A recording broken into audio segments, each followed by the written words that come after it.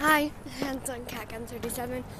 Right now, I'm walking to the bus stop to go to school, and I'm not gonna upload this video until later. But I'm not using my iPod. One second, I'm eating a toaster strudel.